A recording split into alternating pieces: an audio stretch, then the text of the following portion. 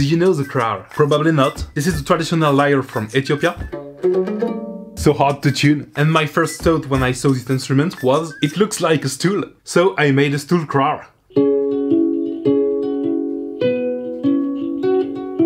Six strings. For more fun, I also tuned the small part. It's an electroacoustic instrument. You can play it by plucking the string like a harp, with muted strings. But the traditional playing of the krar is a unique technique. The right hand is playing the string with a strumming technique, and you can mute the non-wanted strings with the finger of your left hand.